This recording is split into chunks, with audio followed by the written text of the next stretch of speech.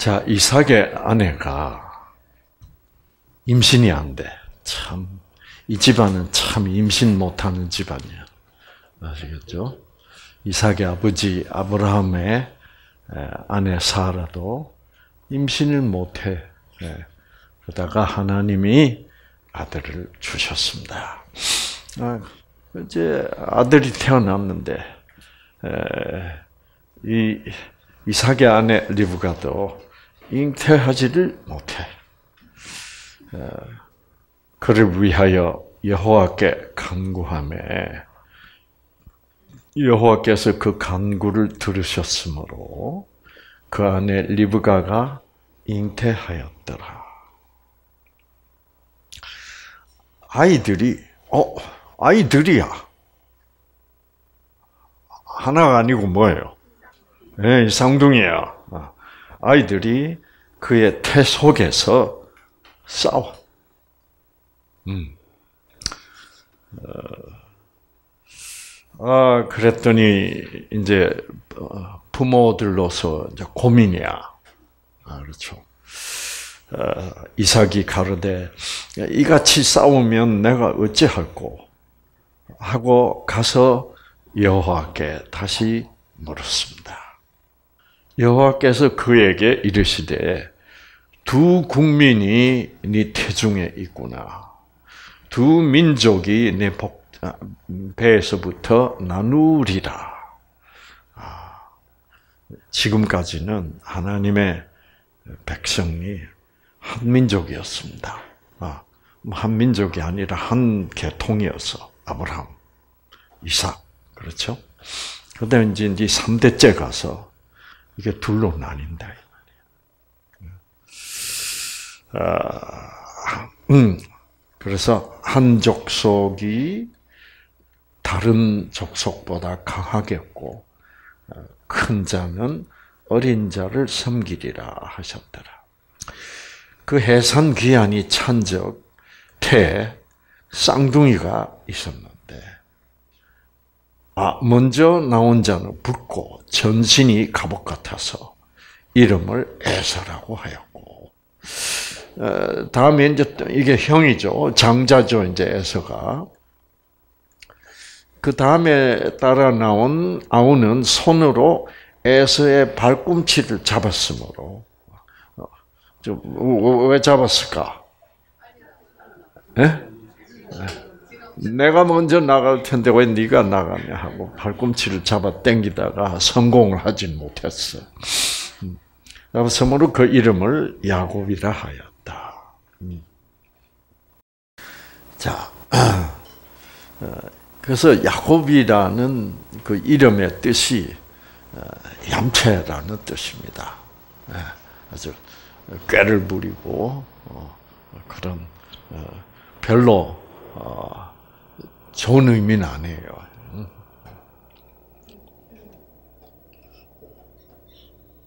자, 여기서 이제 우리가 아, 그 야곱과 에서의 얘기를 할 때 중요한 게 잊지 말아야 할 것이 바로 하나님이 말씀하신 이 말씀입니다.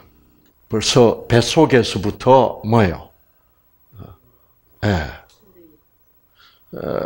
이제 나눌 것이고 분열이 될 것이고 한 민족이 이제 두 민족의 조상이 될 것인데 한 민족이 더 강하겠고 그 다음에 뭐라고요?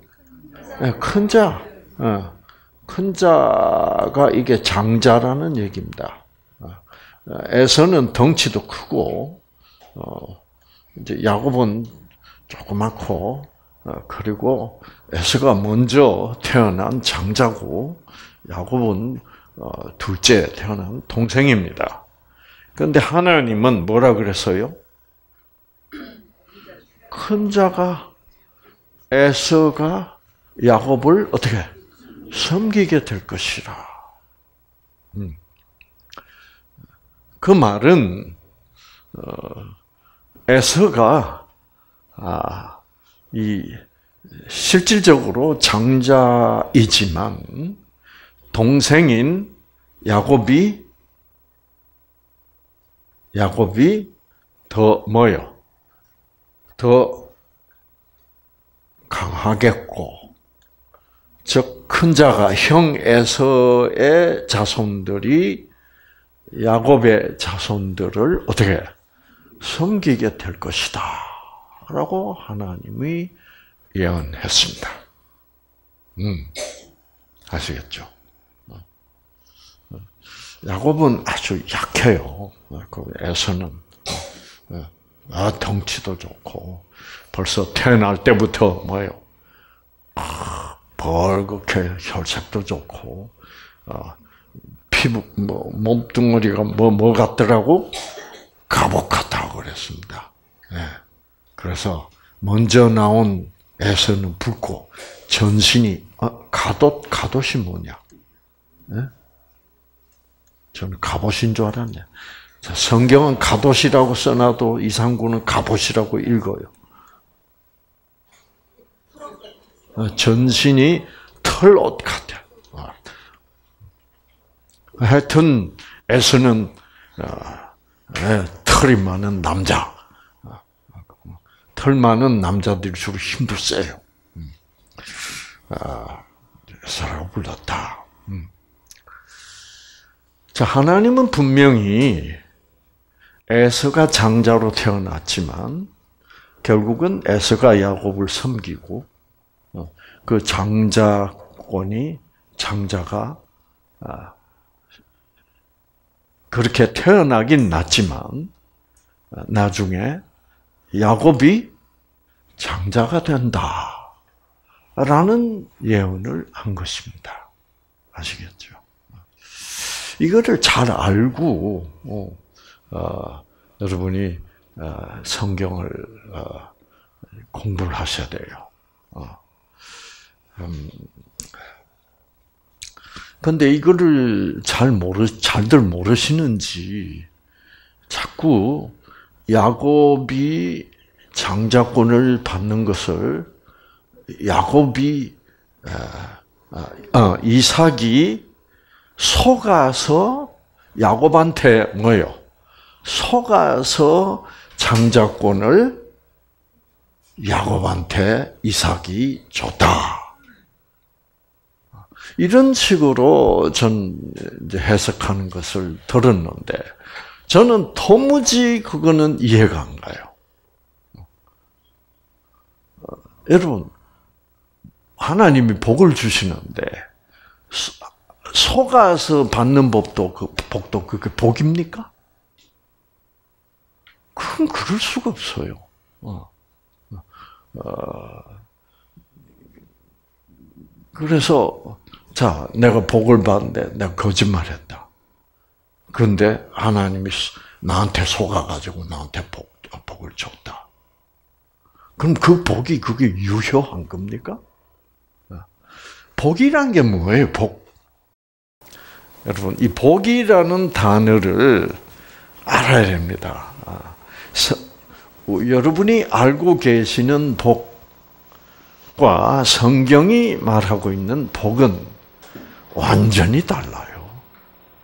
우리가 생각하고 있는 복은 다들 세속적입니다. 사업 잘 되게 해주세요.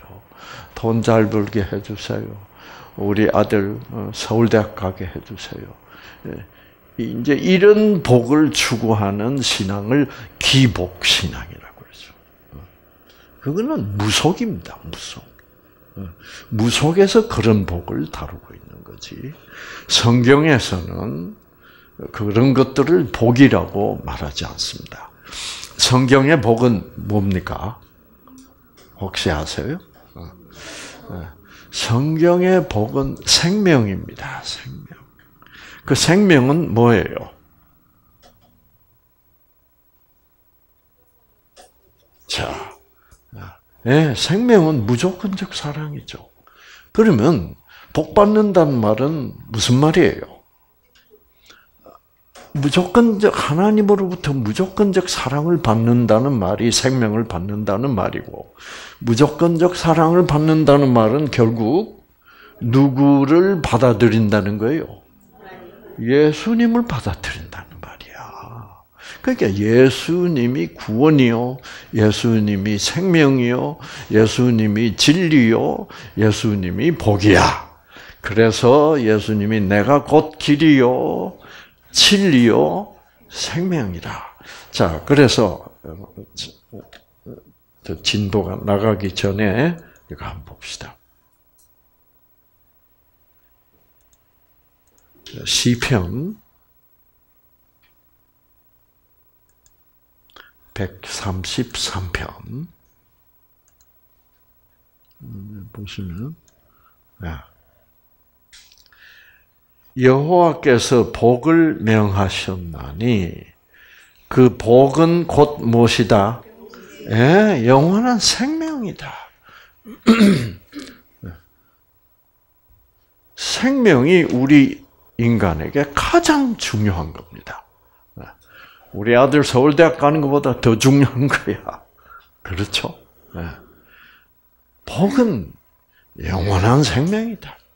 음. 그것은 무조건적 사랑의 하나님으로부터만 오는 것이다. 그래서 우리가 무조건적 사랑의 하나님을 나타내시기 위하여 이 세상에 오신 예수 그리스도를 받아들이면 그것이 바로 복을 받는 것이고 그 복이 바로 영생이다.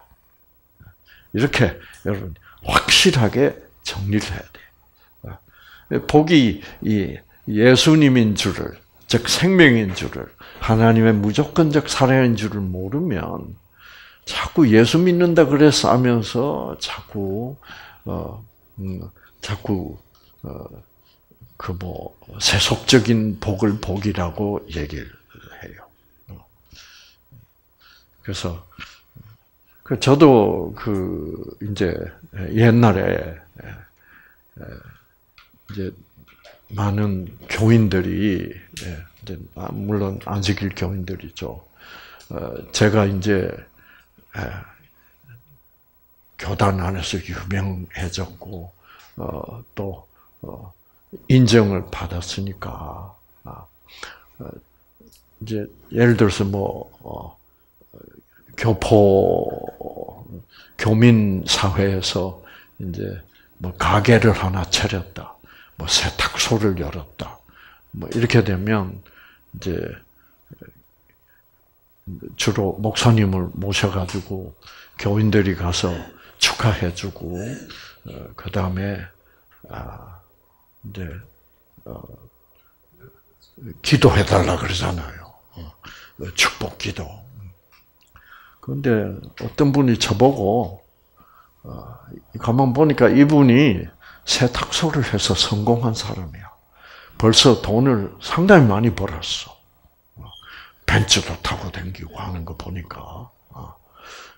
그래서 이제 이분이 이제 세탁소에 재미가 붙어가지고, 어, 어 세탁소를 또 하나 더 낸 거야. 다른 지역에다가. 어.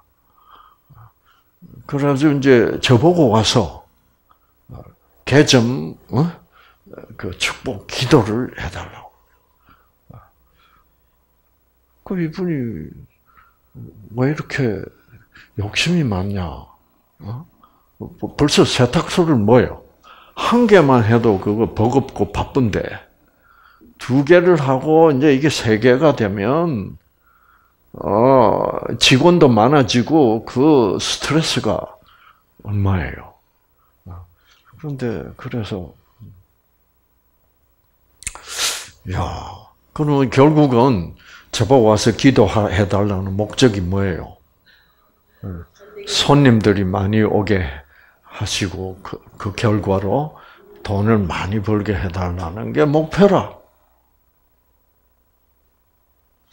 근데 제가 볼 때는 이 사람이 이 세계를 운영하다가는 딱 병 걸리게 딱 좋아. 제가 볼 때는 그래요. 어. 그래서 그런데 막 기도를 해도 그 그렇다고 거절할 수도 없고. 어. 그래서 이제 가가지고 이제 교인들하고 다 가서 제가 기도를 어떻게 했냐면 어, 그분이 이제 장로님이야. 우리 주인 장로님께서 어, 너무 욕심을 내게 하지 마옵시고 어? 어, 어, 이 세탁소를 세 개나 하시다가 과로하고 스트레스를 너무 받아서 어, 병들지 않도록 저는 돈 중심으로 기도한 게 아니고 뭐 중심으로 기도했어? 생명을 중심으로. 어, 그리고 너무 바빠져서 어, 신앙생활에 손해, 손해를 보지 않도록 어, 그렇게 잘 절제하시도록 하나님께서 도와주시라고 그렇게 기도했더니 아멘 소리가 안 커. 그 이제 그러니까 생명을 모르고 신앙을 하고 있고 생명을 모른다는 것은 하나님이 어, 무조건적 사랑이라는 것을 모르는 그 그게 진리인데 하나님은 무조건적 사랑이시며 그 무조건적 사랑이 바로 생명이다. 이것이 진리예요. 이거 이것이 궁극적인 진리야. 이 진리를 모르고 어, 어, 하니까 복, 복 받는다. 라는 말이 이상하단 말이에요. 음. 그래서 여러분, 세배할 때 새해, 새해 복 많이 받으세요 하는 말이 주로 우리 식으로 하면 돈 잘 벌고 사업이 번창하시고 뭐 이런 뜻인데, 진짜로 새해 복 많이 받으십시오. 라는 말은 참 좋은 말입니다. 음, 새해는 꼭 돈보다 생명이 더 중요한 것을 깨닫게 되는 그런 중요한 해가 되기를 바랍니다. 새해는 꼭 예수님을 아, 만나시기를 바랍니다. 라는 그런 말이 돼야 돼요. 자,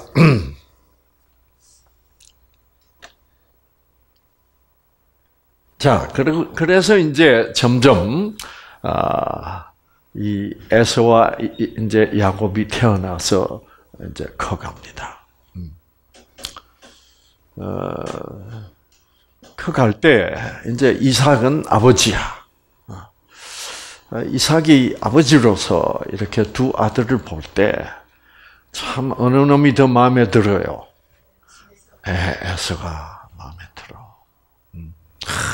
이 녀석은 사나이답고 힘도 세고 용감하고 음, 능력이 많아. 음. 어, 그래서 들에 나가서 사냥도 잘하고. 네. 네. 에서는 자신만만해. 음. 자, 아버지로서 그런 아들이 있으면 참 좋죠. 근데 야곱은, 어, 뭐, 어, 몸도 약하고, 맨날 엄마하고만 뭐, 왔다 갔다 하고, 마마보이야. 아시겠죠? 어, 어, 이삭이 볼 때는, 에스가 진짜로 뭐예요? 이 가게를 이어 나갔으면 좋겠는 하나님은 이미 야곱이라고 예언을 해주셨다 이 말이에요. 아, 아시겠죠? 어, 결국 이삭의 마음에도 누구의 뜻대로 돼야 된다는 걸 이삭은 잘 알고 있어요. 하나님의 뜻대로 돼야 될 것이다. 야곱은 매사에 자신이 없어요. 음. 자, 이제 그래서 이제 근데 이삭이 나이가 많아졌고 이제 곧 어, 이제 이 세상을 떠날 테니까 아, 두 아들에게 축복을 하고 어, 그리고 장자권을 확신 누가 나를 이어서 장자가 된다는 것을 확실히 하고 죽어야 돼요. 자, 그런 상황에 이제 도달했습니다. 과연 야곱이 성공적으로 아버지를 속여가지고 그 아버지 이삭이 속아서 야곱에게 장자권을 줬을까요? 그렇게 됐다면 어, 그게 어, 그게 말이 안 되죠. 제가 볼 때는 어, 그 복이 하나님이 주시는 뭐예요? 영생인데 어떻게 그거를 속아서 받을죠? 하여튼 그 복은 하나님의 계획에 따르면 누구에게 가기로 돼 있어요. 야곱에 가기로 돼 있어요. 그래서 그것은 누구도 잘 알고 있어요. 이삭도 잘 알고 있어. 리브가도 잘, 그 아, 이삭의 아내 리브가도 잘 알고 있고. 그래서 하나님이 의도하신 대로 그 리브가와 이삭이 야곱에게 뭐요? 어, 장자권을 어, 줬다. 이렇게 해석이 돼야 되는 거예요, 사실은. 안 그러면 이상해져. 자, 과연 이삭이 속아서 복을 줬을까? 어, 저는 속아서 복을 줬다 이렇게 되면 저는 이 성경에 권위가 하나도 없는 걸로 그렇게 느껴졌어요. 과연 속았을까? 그래서 제가 어, 근데 제가 아는 한 모든 사람들이 다 속아서 복을 준 걸로 그렇게 얘기를 하는데 아, 속은 게 아니다. 라는 하고 가르쳐 준 사람이 없어요. 그래서 제가 혼자서 고민을 많이 하고 음, 어, 기도를 했습니다. 하나님, 제 생각에는 게 아닌 것 같은데. 그래서 어, 좀 어, 보여주시기 바랍니다. 기도를 했는데, 아, 그래서 성경을 조심스럽게 공부를 하기 시작했습니다. 음. 창세기 27장으로 넘어갑니다. 음. 이삭이 늙으니 눈이 침침함으로 그가 아, 볼 수가 없더라. 침침해진 거는 뭐, 뭐예요? 눈이에요, 눈. 어? 눈. 눈. 제가 왜 이걸 강조하냐 하면, 어, 이삭의 귀는 안 멀었어요. 귀는 잘 들어. 그리고 코도 안 늙었어. 냄새도 뭐예요?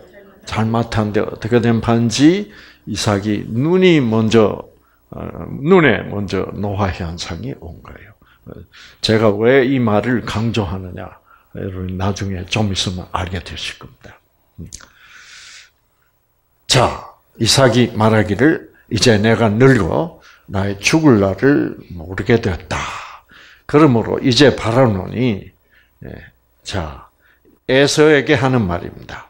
이제 에서야 내 큰아 바라니 너의 무기들 즉 내 화살통과 활을 가지고 들로 가서 내게 사냥한 고기. 아, 지금 내가 지금 언제 죽을지 모르겠는데 네가 나가서 내 큰 아들아, 네가 나가서 어, 고기를 사냥해라. 그래서 이 아버지, 내가 좋아하는 별미를 만들어 내게로 가져와서 먹게 하여 내가 죽기 전에 내 마음이 너를 축복하게 하라.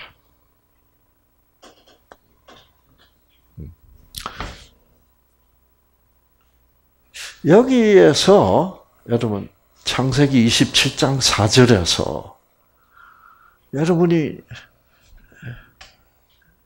이게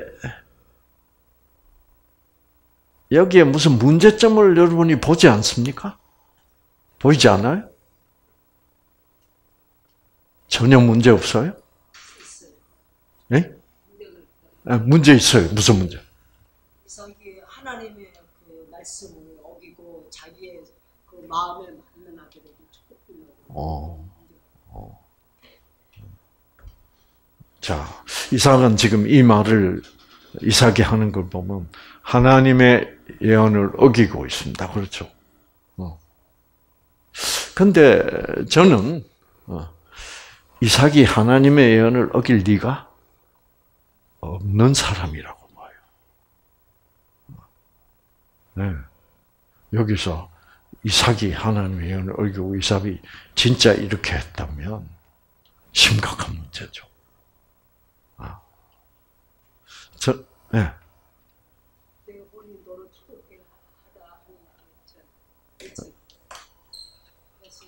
네. 네. 자, 내가 뭐 여기 혼이란 말은 없는 걸로 칩시다. 내가 너를 축복하게 하라. 내가 너를 축복하게 하라. 어떻게 해가지고 네가 나가서 사냥을 해가지고 맛있는 노루를 잡든지 해가지고 갖고 와서 네가 아주 맛있게 만들어 가지고 요리를 해서 갖다 주면 내가 그것을 먹고 와 이게 아, 참 맛있게 했구나.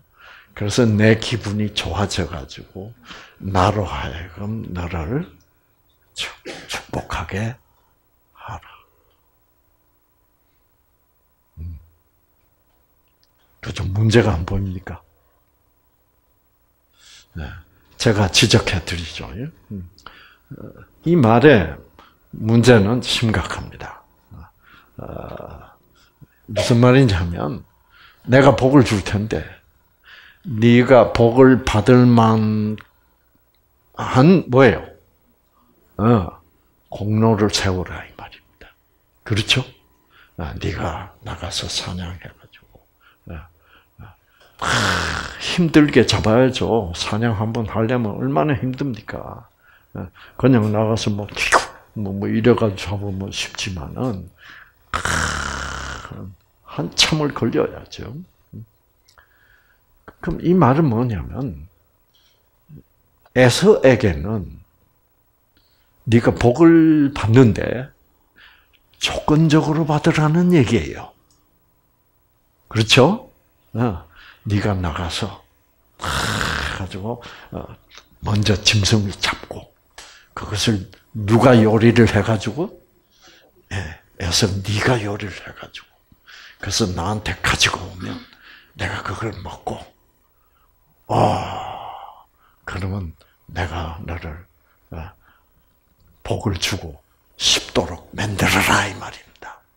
어, 내가 너를 축복하게 하라. 아시겠죠? 복이란 것은 어, 인간이 노력을 해서 공로를 세워서 받는 것이 아닙니다. 생명은 생명은 무엇으로 받아요? 은혜로 받습니다. 그렇죠? 네.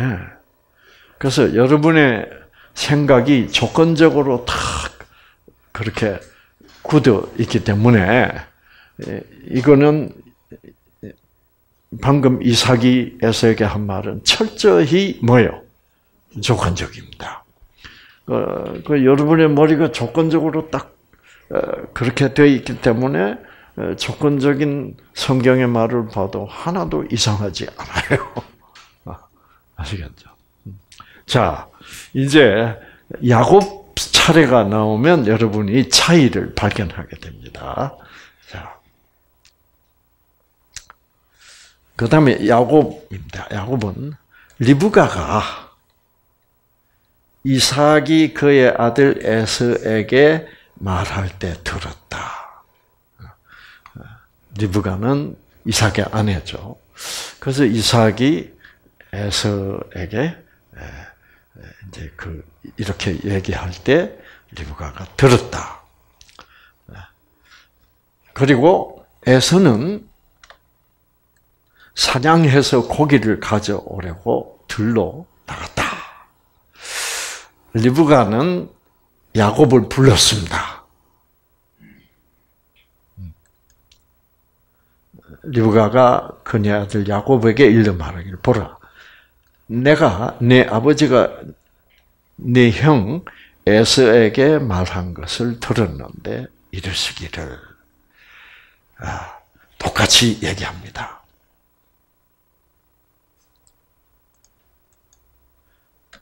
내게 사냥한 고기를 가져다가 나를 위하여 별미를 만들어 먹게 하라. 그리하여 내가 죽기 전에 주 앞에서 내게 축복하게 하라 하셨느니라. 똑같이 그대로 얘기했어요. 자, 요 전에 에서와 야곱이 커가면서 잠깐 그 두 아들의 모습을 보여주는 얘기가 있습니다.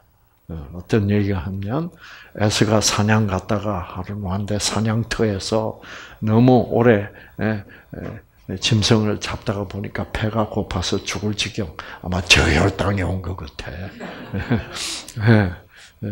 그때 이제 마치 에서 마치 야곱이 팥죽을 끓이고 있었는데 아 그 죽 좀 내놔라. 그래서 야곱이 얌체라는 것이 나타나는 게 뭐냐면 야곱이 뭐라 그랬게? 그러면 장자권을 나한테 팔아라. 죽하고 네 형님 장자권하고 바꿉시다. 그 에서가 그 장자권이 무슨 대수냐? 뭐 그렇게 중요하냐? 바꾸자. 어. 그래가지고 야곱과 에서 사이에는 이미 그 뭐예요? 예, 그 장자권이 팔렸어요. 음. 그건 이제 무엇을 뜻하냐 하면, 어, 에서는 어떤 사람이냐 하는 것이, 그러니까 야곱은 내가 끓인 죽을 못 먹더라도 뭐가 더 중요하다? 장자권이 더 중요하다. 아. 그런, 그런 얘기고, 에서라는 사람은, 야, 배만 부르면 됐지. 장자권이 뭐 그렇게 의미가 있냐. 아, 아. 이제, 그, 그리고 뭐, 나는 뭐, 능력이 있으니까. 뭐, 아. 그러니까, 에서라는 사람은 상당히 무선적이다. 육적인 사람이고, 야곱은 뭔가 의미를 찾고, 명분이 더 중요한 그런 사람이다라는 것이 나타났다 이 말입니다. 이삭이 이 두 아들이 커가는 모습을 이렇게 볼 때, 음, 야곱은 이제 어, 누구 힘을 믿고 사는 사람이에요. 자기의 능력을 믿고 사는 사람. 예. 그러니까 어, 자기 한 몸만 있어 모든 걸 뭐예요? 다 해낼 수 있다. 음. 이제 그런 사람이고 어, 그런 사람일수록 영적으로는 문제가 있습니다. 무슨 문제예요? 내 힘으로 다 할 수 있기 때문에 하나님이 뭐 필요하냐? 이제 이런 정신을 가지게 됩니다. 그런데 야곱은 음? 야곱은 형처럼 에서처럼 그런 능력이 뭐예요? 없어요. 그래서 하나님께 의지할 수 있는 그 그거는 마찬가지예요. 여러분들도 건강할 때는 내 힘으로 다 될 것 같아, 그렇죠? 그러니까 하나님 안 찾아. 그리고 이제 병이 나가지고도 하나님 안 찾아. 어디까지 가야 하나님 찾아요? 아, 의사들 힘을 이제는 어, 의존할 수가 없고 하나님밖에는 없구나. 이렇게 내가 약해질 때. 그래서 사도 바울도 고린도후서 12장에서 내가 약할 때 강함이라 이렇게 얘기합니다. 내가 약할 때 뭐가 강해? 약한데. 약한데 어떻게 강해져요? 약하니까 내가 약하다는 것을 깨달았으니까 그러므로 하나님께 의존할 수밖에 없고 그래 그러고 보니까 내가 의존한 하나님이 내 속에 들어와서 그 하나님의 강하심이 나타나게 되더라 이 말이에요. 네, 네. 그래서 내가 약할 때 강하다. 그 이제 야곱은 태어날 때부터 약하게 태어났습니다. 야곱은 반드시 누가 도와줘야만 돼. 그렇죠. 야곱은 장자권을 받기 위하여 활과 아, 무기를 가지고 들에 나가서 아, 형처럼 사냥해서 고기를 어, 요리를 만들어 가지고 아버지에게 드려서 복을 받는 그럴 수는 없어 불가능해요. 아, 큰아들 형 에서하고 비교하면 그 방법으로는 불가능해요. 자, 이제 그래서 저는 이 7절을 상당히 중요하게 봅니다. 어떻게 보냐면 아, 아, 이제 이 야곱과 에서가 자라면서 어, 이 엄마 아빠로부터 하나님에 대해서 많이 배웠을 거예요. 그렇죠? 어, 어, 그래서 주로 하나님에 대해서도 배우고 아, 그들의 할아버지 아브라함에 대해서도 배우고 그래서 결국 아브라함도 믿음으로 그렇죠? 믿음으로 하나님을 이제 섬겼다는 것을 배웠을 거예요. 그래서 그런데 지금 엄마 리브가가 이삭이 한 그 말 그대로를 야곱한테 옮깁니다. 그럼 이 말은 야곱이 지금까지 엄마 아빠에게서 배운 그 원칙에 성경의 원칙에 하나님의 원칙에 원칙 과 같은 원칙이에요. 정반대 원칙이에요. 정반대 원칙이야. 왜? 네 아빠가 형한테 이렇게 조건적으로 얘기했어. 이 말이야. 네가 잡아서 맛있게 해서 나를 먹여주면 내가 축복한다. 이 조건적이다. 어? 성경적으로 하면 이런 것이 뭐요? 아니다. 라는 이제 그 의미로 야곱한테 얘기했다고 합니다. 자, 그러므로 자, 그러니까 엄마 말입니다. 이제 내 아들아, 야곱아, 아빠가 명한 대로가 아니, 아니고, 누가? 내가, 내가 너에게 명령한 대로 내 음성에, 내 말에 순종하라. 이렇게 복을 받는 길은 이런 길이다. 이 말입니다. 그래서 지금 염소 떼에 가서 좋은 염소 새끼 두 마리를 내게 가져오라. 그러면 내가 그것들로 내 아버지가 좋아하는 별미를 만들리니 네가 그것을 내 아버지께 갖다 드려라. 그가 그것을 드시고 죽기 전에 너를 뭐요? 축복하리라. 자, 야곱이 축복받는 방법은 그 엄마가 얘기해 준 방법은 아빠가 얘기해 에서에게 해준 방법하고 완전히 뭐예요? 달라요. 무슨 어떤 점이 달라요?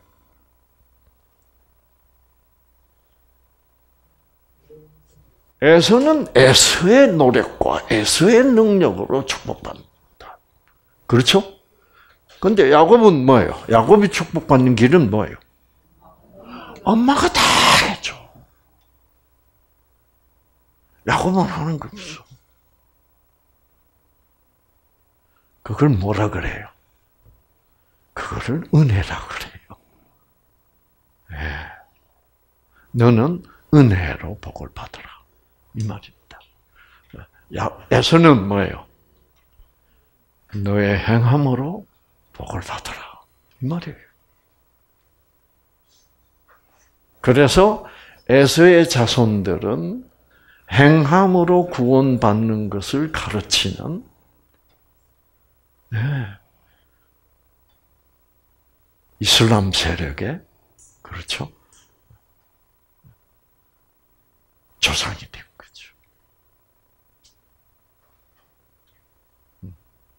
물론 이스마엘부터 그러죠. 그래서 하여튼 그 이삭과 이스마엘, 야곱과 뭐예요? 에서 이렇게 다 항상 두 정반대되는 세력이 나타난다 이 말이에요. 아시겠죠? 어.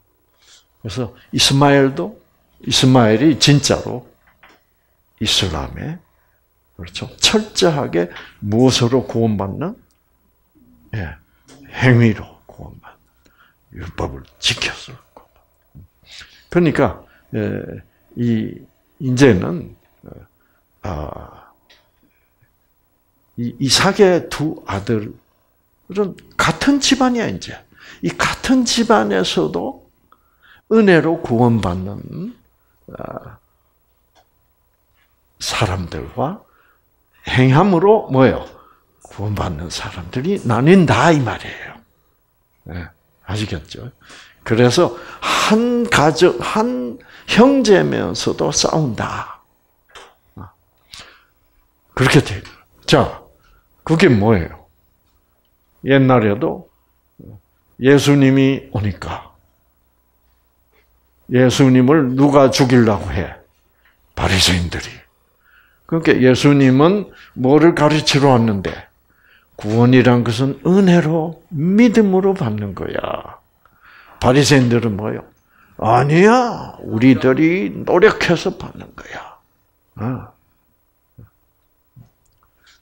노력한다는 것은 아무 문제가 아니야. 뭐가 문제예요? 바리새인들의 주장은. 그래야만 구원 주신다. 이게 틀렸다 이 말이에요. 아시겠죠? 예수님이 가르치는 건 뭐예요?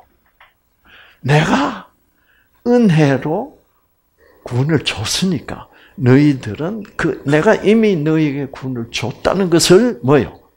믿으라. 내가 믿게 해줄게. 그 믿음을 받아들이면 너희들은 힘이 나고 감사하고 기쁨 속에서 행할 것이다 이 말이에요. 그게 행함을 거부하는 게 아니야. 자꾸 사람들은 믿음과 행함을 쪼개놓고 왜 행함이 있어야지.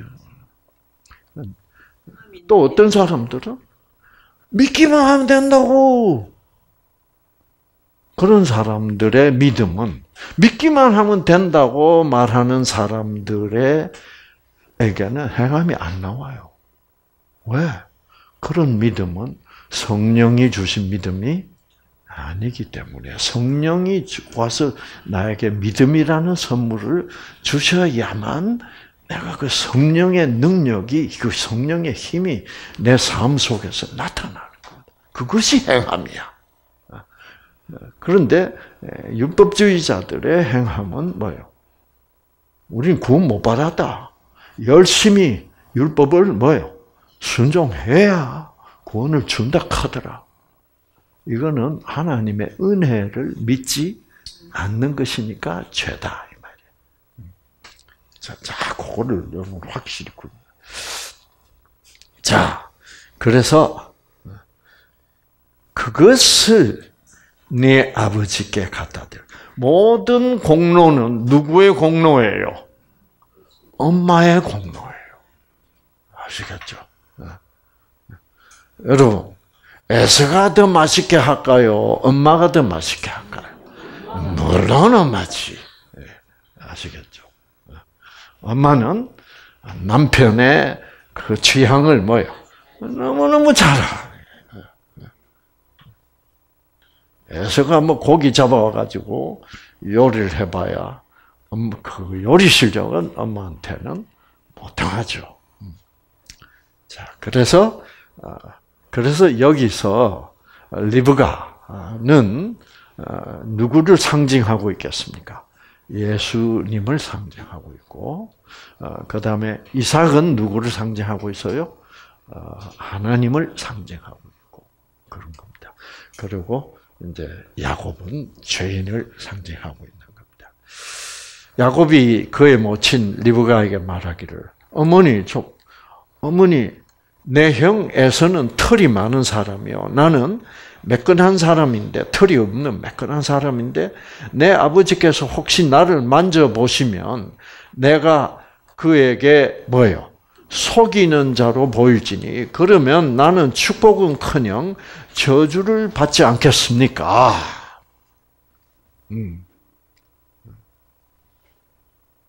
그의 모친이 그에게 말하기를 너의 저주는 내가 받으리니. 이게 이제 예. 그러니까 예수님도 우리가 받을 우리가 죄 죄인이기 때문에 우리가 받을 사망 그 저주를 누가 대신 받아줬어요? 야, 그래서 예수님이 대신. 그러니까 그래서 여기서 리브가는 예수님의 상징으로서 그, 그, 그 부분에 있어서는 내가 책임지 마. 아, 내가 저주를 받겠다. 하자. 거의 뭐, 저, 저, 내가 저주를 받대. 내 아들아. 너는 내 음성에만 순종하고, 어, 그거를 믿기만 해라. 가서 그것들을, 어, 그 염소를 가져오라. 어, 그래서 가져왔더니 그의 아비가 좋아하는 별미를 누가 만들었더라? 어미가 어미가 만들었다. 자, 그래서 리브가가 다 만들어 가지고 집에 자기와 함께 있는 그녀의 맏아들 에서의 좋은 의복을 가져다가 작은 아들 야곱에게 입히고 에서의 옷을 입혔어. 입히고 또 염소 새끼들의 가죽으로 손과 목에 매끈한 곳에 어떻게 예, 예, 붙이고 왜, 목에다가 왜 붙였어? 손에다 왜 붙였어? 손등 왜? 아버지가 이제 손을 잡고 이제 또 이렇게 어, 목을 끌어안고 예, 너는 어? 이런 복을 받아라. 할 때 이제 손을 잡고 만질 것이기 때문에 목을 깨안을 것이기 때문에. 묻히고 그녀가 마련한 그 변미와 빵을 그녀의 아들 야곱의 손에 주리라. 그리하여 야곱이 그 아비에게로 가서 말하기를 내 아버지여 하니 그가 말하기를 내가 여기 있노라. 자 보세요. 요, 요, 요 18절이 굉장히 중요해요.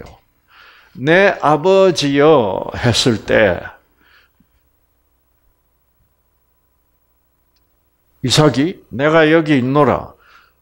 그 말은 어, 내 아버지여 할 때 그 야곱의 말을 이삭이 들었다는 증거입니다. 그렇죠? 어, 귀는 안 먹었다 얘기예요. 귀는 뭐라고? 누구, 어, 누구냐? 어, 뭐라고? 네 말이 안 들린다. 그러지 않았어요. 그러니까 말은 들었어. 그 말을 들었다면 여러분 세상에 이삭이 누군지 알까 모를까? 당연히 알죠. 목소리가 같을 리가 없죠. 그런데 보세요. 내가 여기 놀아 그래 놓고 내 아들아 네가 누구? 그 말은 무슨 말이에요? 네가 누구냐는 말은 무슨 뜻이에요? 네가 에서가 아니다라는 뜻입니다. 어, 어. 네, 에서가 아니다. 그러니까 나는 이게 무슨 뜻? 너는 에서가 아니다라는 말은 무슨 뜻이에요? 나는 너에게 속고 있는 것이 아니다라는 뜻입니다. 이게 중요한 거예요. 속고 있는 것이 아니고, 그럼 속고 있는 것이 아니면 뭐 하고 있는 거예요? 속아 주고 있는 것이다. 이 말이에요. 무슨 말인지 아시겠죠? 예? 네, 속아 주고 있는 것이다. 네. 여러분,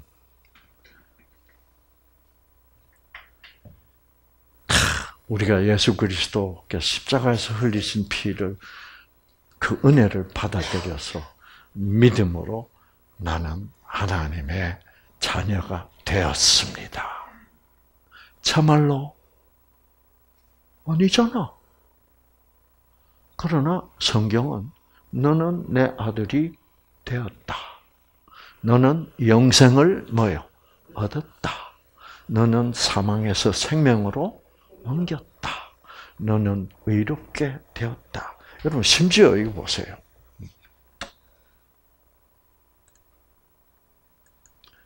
히브리서 10장 보시면 자, 예수 그리스도의 몸을 단번에 들이심어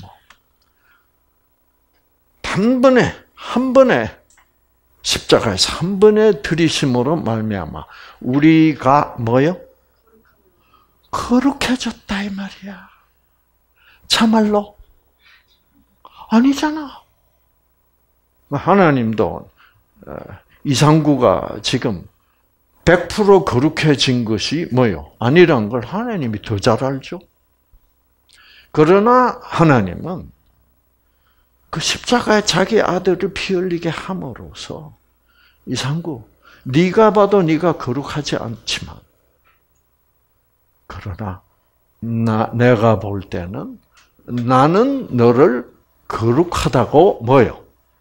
여긴다 이 말이에요. 나는 너를 거룩하게 본다는 거예요. 그러면 내가 보는 게 옳아요. 하나님이 나를 봐주시는 게 옳아. 그렇죠? 내가 나를 볼때 거룩 안 해. 근데 하나님은 나를 어떻게 본다고? 자기 아들을 희생하고, 어, 우리가 받을 모든 그 거룩하지 않는 죄는 다 아들이 책임졌으니까. 너는 나에게 거룩한 존재다 이 말입니다. 아시겠죠? 그것이 은혜다 이 말이에요. 은혜. 하나님이 은혜를 베풀지 않는 하나님은 넌 아직도 멀어서 그럴 거죠. 그럼 사도 바울은 그걸 아니까 아, 몸을 단번에 들이심으로 십자가에서 단번에 단 한 번 죽으심으로 말미암아 우리가 거룩함을 얻었다라고 얘기한 거죠. 응. 야, 그 다음에 봅시다. 점점 점입 가경입니다. 네가 누구냐 하니 야곱이 그의 아비에 말하기를 나는 아버지의 맏아들 에스로 소이다. 아버지께서 내게 청하셨던 대로 행하였나이다. 내가 강구하오니 일어나 앉으셔서 나의 사냥한 고기를 잡수시고 아버지의 혼이 나를 축복하소서 하더라. 이삭이 그의 아들에게 말하기를 내 아들아 네가 어떻게 그처럼 빨리 잡았느냐 하니 그가 말하기를 주 아버지 하나님께서 내게 보내주셨나이다 하더라. 이삭은 자꾸 무슨 뜻으로 얘기해요? 너는 에서가 아닌데 라는 뜻으로 얘기해요. 어. 그 이거 이거 뭐예요? 진짜 사냥한 거 맞냐? 사냥한 거 사냥치고 너무 빨리 잡은 거 아니냐? 이제 이런 식으로 어, 말함으로 말미암아 자기가 속고 있는 것이 아니다. 그럼 속고 있는 것이 아니면 왜 이렇게 계속을 해요? 야곱에게 장자권을 주는 게 뭐예요? 하나님의 뜻이니까. 네. 그렇죠? 그러니까 지금 어, 리브가와 이삭은 하나님이 예언하신 대로 뭐예요? 하고 있는 예. 저, 저도 이제 좀 있으면 더 확실해집니다. 이삭이 야곱에게 말하기를 내가 원하노니 내 아들아 내게 좀 가까이 오너라. 네가 과연 내 아들 에서인지 아닌지 뭐요? 만져보게. 그러니까 이게 이 말은 이미 뭐요? 너는 에서가 아니다 이 말이에요. 네, 그렇죠? 야곱이 자기 아비 이삭에게 가까이 가니 이삭이 그를 만지며 말하기를 목소리는 야곱인데 자 속, 내가 지금 속고 있단 말이요 안 속고 있단 말입니까? 안 속고 있다는 말이야. 안 속고 있으면서 지금 이 과정을 진행한다는 말이면 그거는 뭐예요? 하나님 뜻대로 될 수밖에 없다는 거예요. 맞죠? 네. 그래서 속아서 복준 게 아니다 이 말이에요. 왜? 하나님 뜻대로 해야 되겠는데 참 하나님 뜻대로 하려니까 어, 엄마나 아빠나 마음이 아파 안 아파? 아프죠. 어? 그 에스라는 근사한 아들 낳았는데 이 자식이 영적을 육 너무 육적이야. 그렇죠. 너무 세상적이고 영적이 아니야. 그러니까 항상 뭐요? 자기 힘만 믿고 그래서 하나님의 그 일꾼이 되기에는 뭐요? 자질이 갖춰지지 않은 아들임을 잘 알고 그렇지 그래서 비리비리한 야곱이라도 네. 그, 그, 그게 결국 하나님이 그때부터 야곱을 선택하셨으니까. 그렇죠? 자, 목소리는 야곱의 목소리인데 손은 에서의 손이로다. 여러분, 이것이 바로 지금 현재 저와 여러분의 처지다 이 말이에요. 우리는 거룩해요 안 해요? 진짜로 거룩 안 해. 우리 그 말은 우리는 진짜로 에서가 뭐요? 아니다 말이야. 아닌데 우리는 어, 어, 뭐를 붙이고 간 거요. 에서의 옷을 입고 염소 털을 붙이고 진짜는 야곱이야. 진짜는 아직도 죄인이야. 그러나 어, 그러나 내가 염소 털을 여기에 매끈한 데를 붙일 수 있게 된 것은 누가 죽어줬기 때문입니까? 예. 어린 양 염소이신 예수님이 죽어줘서 그 틀을 내가 붙이고 아버지 이삭에게 나가서 나는 거룩하고 완전하지도 않는데 나는 거룩한 자입니다 하고 나갔다 이 말입니다.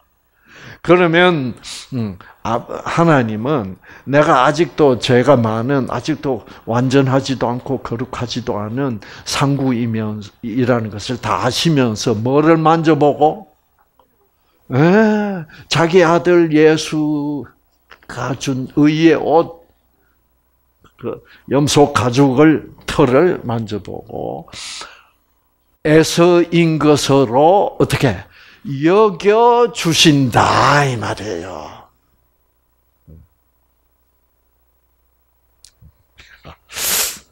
그게 잘안 예, 들어가시는 것 같은데 예, 감동이 잘 안 오는 거. 예. 자, 그럼 제가 요걸 보여드리죠. 아, 로마서 4장. 자, 일을 아니할지라도 일을 아니 이게 번역이 아주 나쁜 번역입니다. 아, 아, 다른 쉬운 번역이 여기 있을 것 같아. 자, 아, 이거 저 이거 이 번역이 괜찮. 그러나 아무 공로가 없어도 그게 바로 일을 아니할지라도 이 말입니다. 뭐 하나님을 위해서 좋은 일 한 거 하나도 없어도 공로가 없어도 경건치 아니 않은 사람을 그러니까 이때까지 하나님께 해 드린 일도 하나도 없고 이때까지 한 짓을 보면 전부 뭐예요? 나쁜 짓밖에 한 거 없다 이 말입니다. 누구처럼 사개오처럼 누구처럼 사마리아의 장녀처럼 나쁜 짓밖에 한 거 하나도 없다.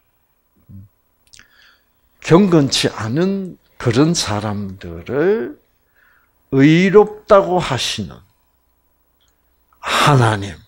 그러니까 공로가 하나도 없어도 그래도 하나님은 무조건적 사랑의 하나님이시기 때문에 나 같은 인간도 사랑하고 받아 뭐요?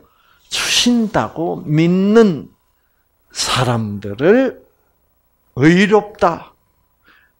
단지 그 믿음 하나로 의롭다고 하시는 하나님을 믿는 사람에게는 그의 뭐요? 그의 그 믿음이 의로운 것으로 인정을 해 주신다 이 말이야. 아시겠죠? 지금 이 야곱이 축복받는 얘기는 저 얘기다 이 말이에요. 어. 의로운 게 아니다 이 말이야. 어. 경건치 않다 이 말이야. 그래도 엄마 말을 믿고 그 예수 그리스도의 말을 믿고 그래도 나는 너를 사랑한다. 그 말을 믿고 나는 에서입니다. 나는 거룩한 어, 사람입니다. 라고 말할 수 있는 그 믿음을 의로 인정해 주신다. 의로 뭐예요? 여겨 주신다는 것입니다. 자, 그래서 어, 여기는 인정해 주신다라고 했지만은 여기서 보면 그의 믿음을 어떻게 의로 여겨 주신다 이 말이에요.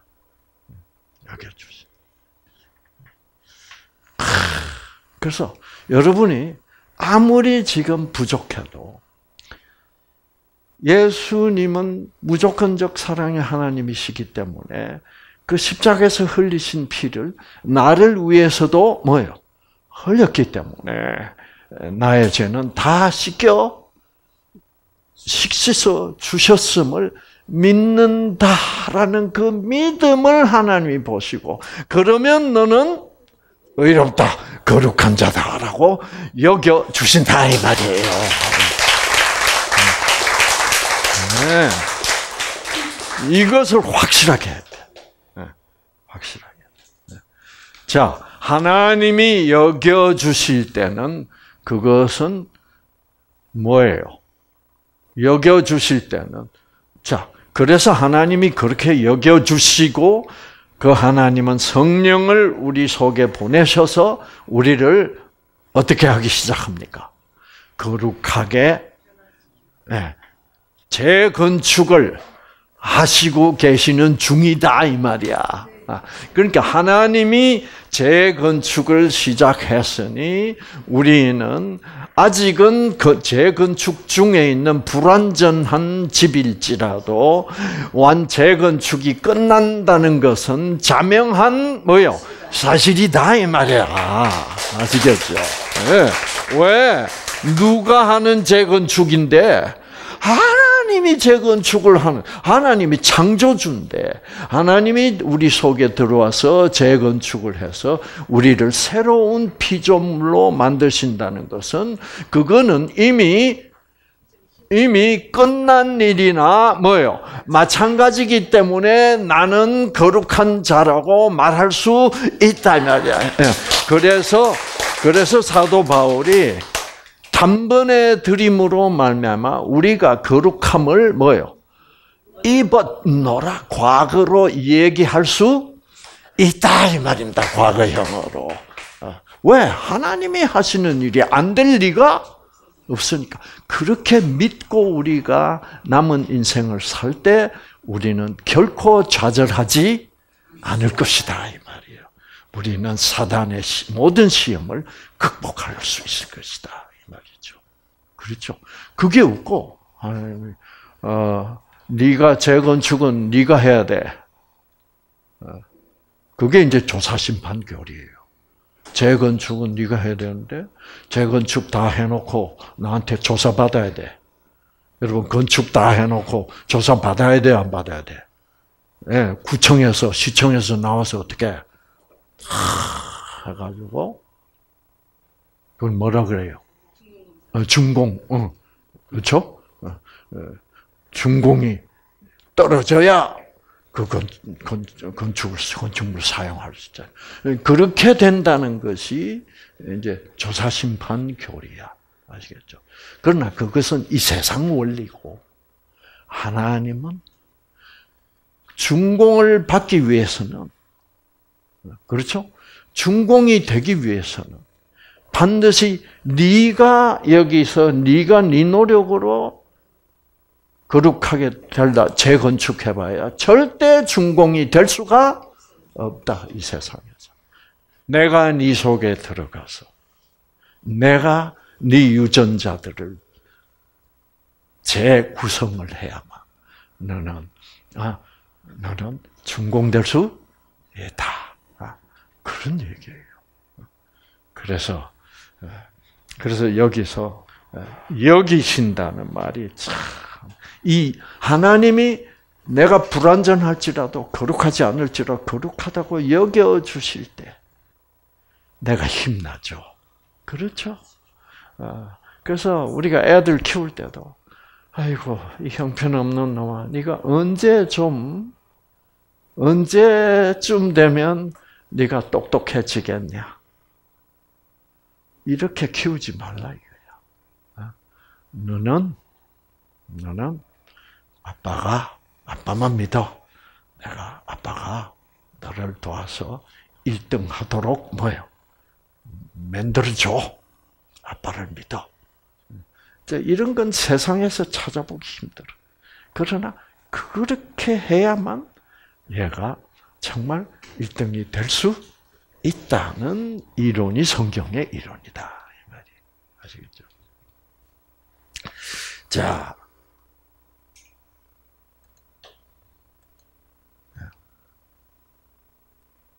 자, 목소리는 야곱의 목소리인데 손은 에서의 손이다. 그러면 진짜는 뭘로 어, 이 손은 매끈한 손은 염소 가죽으로 덮을 수 있지만 목소리는 뭐예요? 속일 수 없어. 그렇죠? 예. 네. 그러니까 진짜는 의인이 아닌데 예수님이 예수님의 그 의의 옷으로 어, 내가 그 내, 내가 그 의, 롭지 않은 내가 그 의의 예수님이 주신 의의 옷을 뭐요? 입었기 때문에 너는 예수님 때문에 의인으로 여겨 주신다. 애서로 여겨 주겠다는 거죠. 그렇죠?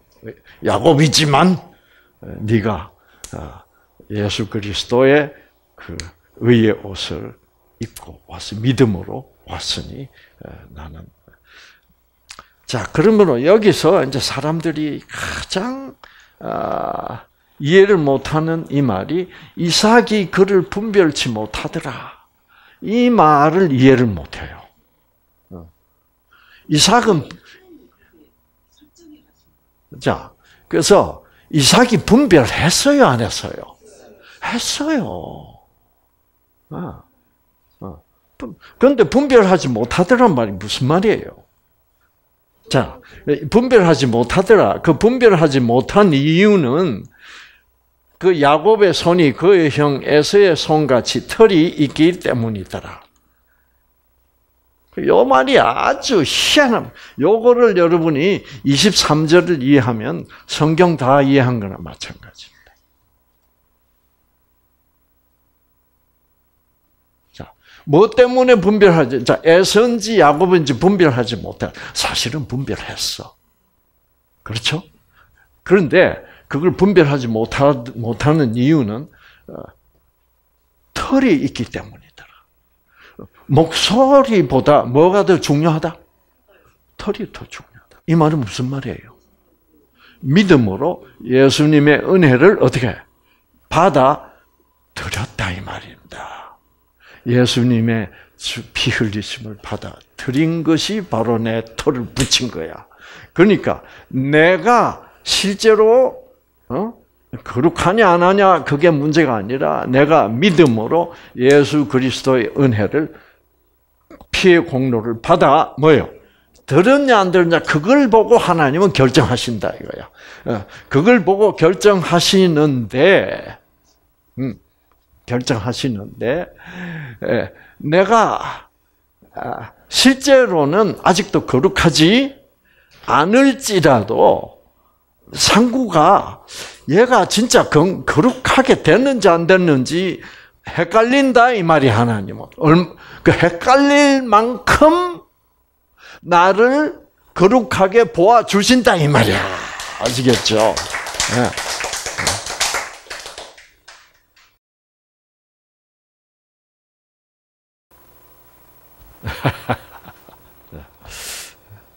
자, 보세요. 그래서 축복했다 이 말입니다. 그래놓고 이삭이 말하기를 네가 정말 내 아들 에서냐? 이삭은 여러 번 반복해서 내가 야곱아 나는 네가 누군 줄 안다라는 얘기예요. 너는 에서가 아니란 걸 내가 알고 그럼에도 불구하고 나는 네가 에서가 아니라 야곱인 줄 알고 축복을 했다. 내가 축복을 한 이유는 뭐 때문이다? 네가 염소 털을 붙이고 왔기 때문이다. 즉 예수 그리스도를 믿는 믿음으로 내 앞에 나왔기 때문이다. 이 말이다 이 말이에요. 아시겠죠? 네. 네가 정말 내 아들 예서, 예서냐 하니 야곱이 말하기를 그러하니다. 이 말은 자 야곱이 그렇습니다. 나 저가 에서입니다. 라는 말이 거짓말이요 참말이요. 사실은 거짓말이지. 그러나 이게 참말이 되어야 됩니다. 왜? 내가 에서이기 때문에 에서가 아니라 에서는 이런 믿음이 없다면은 에서일지라도 그는 에서가 뭐요? 될 자격이 없어. 그러나 야곱일지라도 내가 뭐만 붙이면 예수 그리스도가 주시는 그 의의 옷만 입으면 그 예수 그리스도가 입혀준 의의 옷 때문에 나는 에서 이다라고 말해야 그게 진짜 다 이 말입니다. 그렇게 우리는 말해야 됩니다.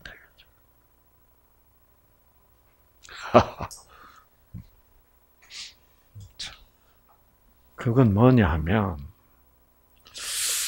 이상구는 이상구 속을 아무리 들여다봐도 이 자식은 아직 멀었어. 아직 완전하지도 않아. 거룩하지도 않고. 그런데 사도 바울은 뭐라 그랬다고요? 여기 보시면, 자, 사도 바울은 히브리서에서 저가 예수가 한 제물로 거룩하게 된 자들을 영원히 뭐요? 완전케 하셨느니라. 세상에 이런 거짓말이 어디 있어? 여러분 예수 믿는다고 완전케 됐어요?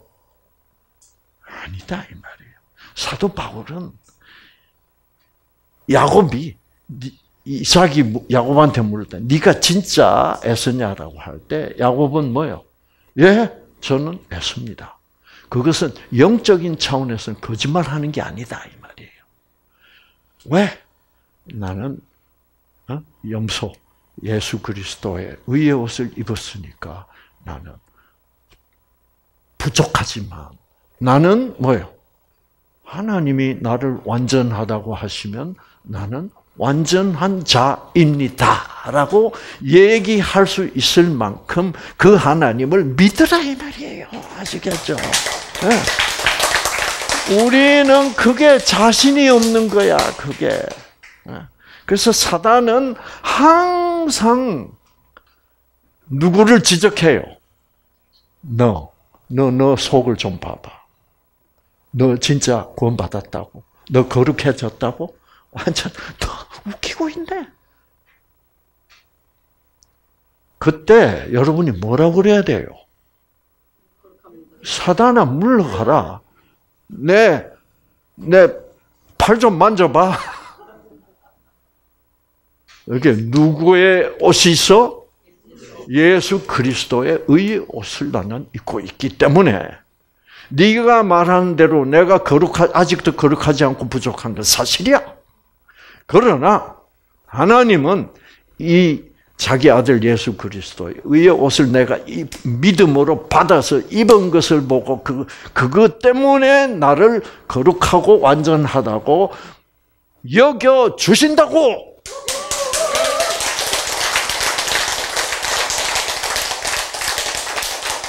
그래서 사단을 물리쳐야 돼. 아시겠죠? 이게 이걸 모르면 사단한테 팍 완전히 당해 버려요. 너, 너 속 좀, 너, 너 어저께, 응? 이상구, 너 어저께, 어? 아, 텔레비 보면서, 어? 어떤, 어, 아주 이쁜 여자가 말이야. 이렇게 젖가슴에 골이 착 파는데, 너 좀 더, 더 깊이 들여다보고 싶었잖아. 맞아, 안 맞아? 그럼 이상구 할말 있어, 없어? 그래가지고 완전하다고, 새끼야? 그러면 당하는 거지, 뭐. 맞다. 사단아, 네 말 맞다. 나는 아직도 그런. 그러나, 아직도 그런 놈에 불과한 이 이상구를 하나님은 나를 의롭다고 말씀하신다. 여겨주신다. 왜? 내가 하나님이 자기 아들 예수를 피 흘리게 해서 나에게 의의 옷을 입혀주시고 나를 하나님이 의롭게 여겨주시기 때문에 나는 네 말에 약호 죽지 않는다.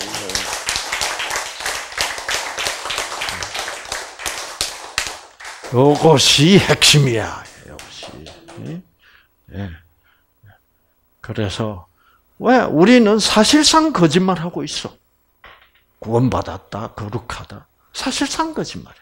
그러나 그것은 하나님 쪽에서 볼 때는 뭐예요?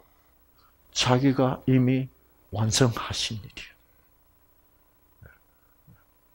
그래서 그래서 우리가 그거를 하나님은 이미 다 끝내서 놓고 우리를 의롭다 하시니까 나는 그래서 여러분 하나님이 여겨 나를 의롭고 거룩한 자로 여겨 주시니까 우리도 어떻게 해야 돼? 거룩하고 의롭지 않을지라도 십자가를 쳐다보고 이렇게 부족한 나 자신을 거룩하고 의롭게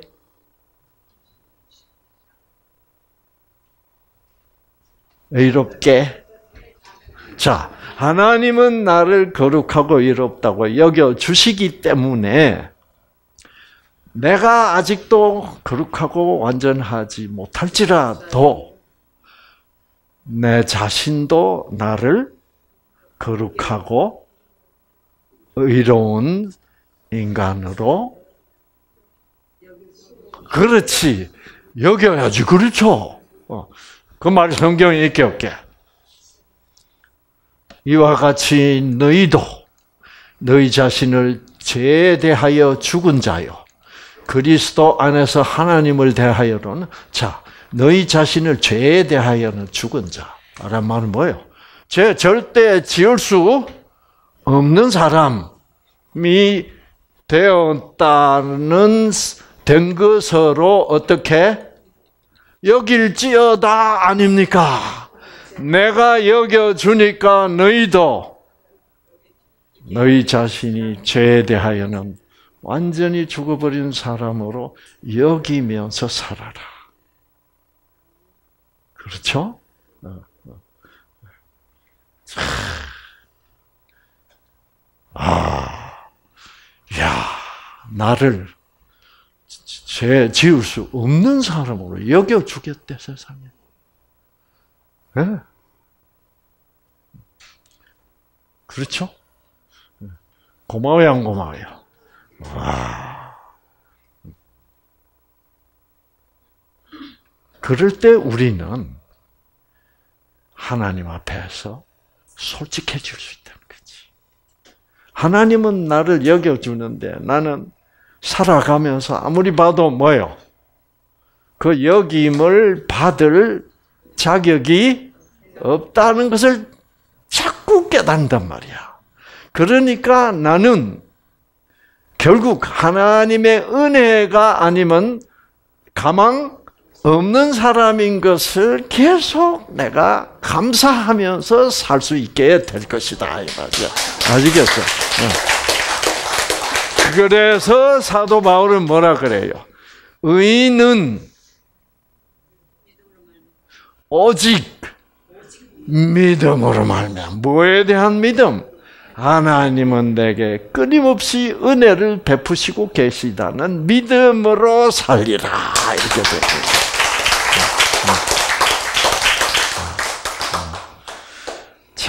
그래서 이 얘기는 참 어떻게 보면 참 어, 조건적인 우리들에게는 이해하기가 뭐요 힘든 일. 그래서 욥은 이런 얘기를 욥은 몰랐다 이 말이에요. 욥은 어떤 사람이었습니까?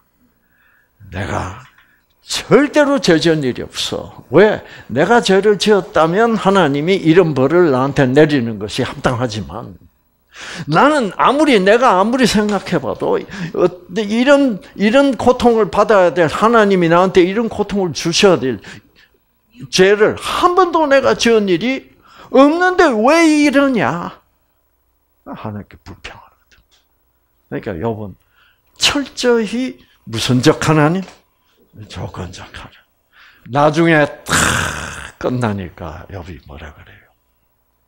내가 내가 도무지 이해할 수 없는 것을 나는 몰랐습니다.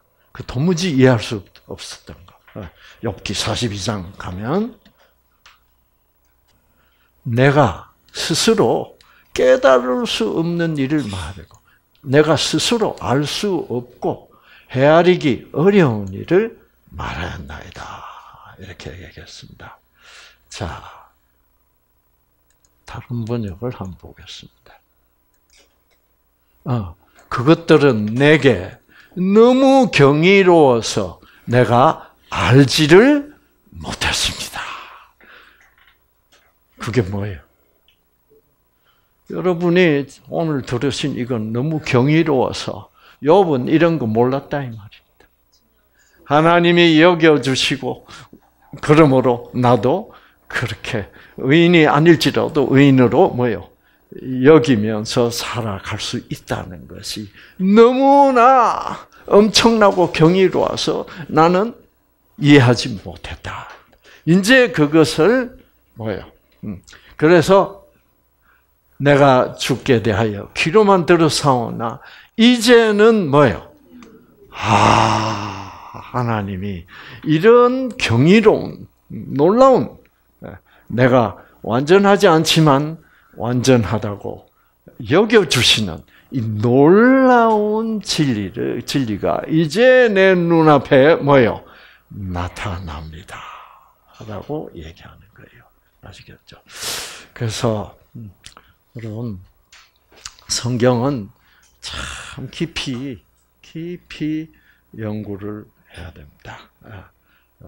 그런데 아, 아. 이것은, 음, 어, 여러분이 오늘 저한테 이런 말씀을 들었어도 어, 어, 좀, 좀 미안한 말씀이지만 금방 잊어버립니다. 네. 이걸 이제 안 잊어버리려면 여러분이 기도하시면서 하나님 이 놀라운 진리, 이 저는 여겨 주심의 진리라고 그래. 네, 여기심의 진리를 정말 내가 앞으로도 잊어버리지 않도록 도와주십시오. 어, 라면서 또 보고 그렇게 하면 어느 순간에 아 그렇지 맞아 이게 갑자기 성경 말씀 성경 그 글, 글자가 환해지는 걸 느끼면서 아 이제 보입니다 하나님 그래서 눈을 욥이 뭐라 그래요 귀로 듣기만 했더니 이 말은 뭐예요? 남이 성경 해석해 주는 거 듣기만 하고 배웠는데 이제 내 눈으로 뭐예요? 이제 보이네요. 어, 그것이 성령이 직접 나에게 역사해 주시는 경험을 하게 됐습니다.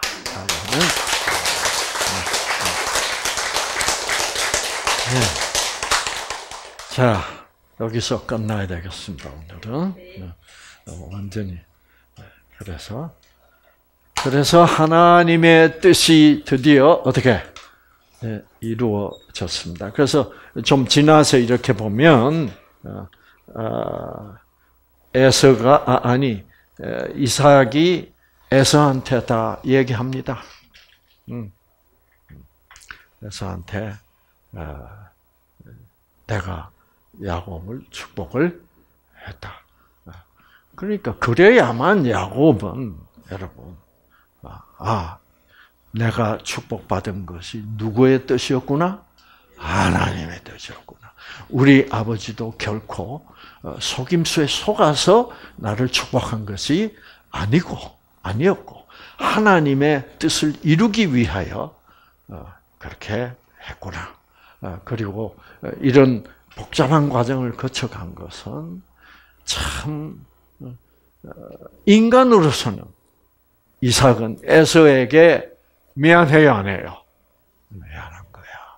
그런데 그 과정을 최소한도로 그, 그 에서의 고통을 최소한도로 줄이기 위하여. 예. 그렇죠?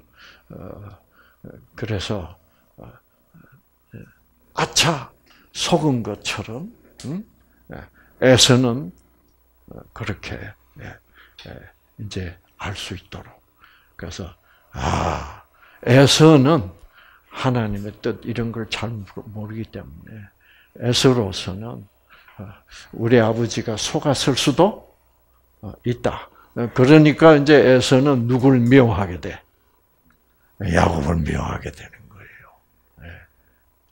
그래서 어, 그래서 이 오늘날의 이 교회 안에서도 결국 에서와 야곱이 공존하고 있고 어, 가인과 아벨이 공존하고 있는 거예요. 아시겠죠? 네, 그래서 어, 그래서 여러분 정말 어, 은혜, 무조건적 사랑을 이런 식으로도 성경은 구체적으로 우리에게 설명해 주고 있는 거예요. 그래서 이러한 어, 은혜, 하나님 무조건적 사랑이 여러분에게 치유하시는 생명이 되기를 바라면서 여기서 마치겠습니다.